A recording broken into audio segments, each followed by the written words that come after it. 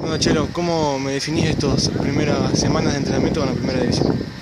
No, la verdad que bien, trabajando muy fuerte, es lógico que a esta altura de, de la pretemporada todavía eh, estemos del todo bien con la pelota, pero en esta parte se trabaja mucho más en lo físico y ya desde hoy el entrenador empezó a trabajar movimientos tácticos, así que eh, de a poquito vamos conociendo la idea que tiene. ¿Fácil comprenderlo a Forestelo? Sí, sí, sí, es muy simple en su concepto.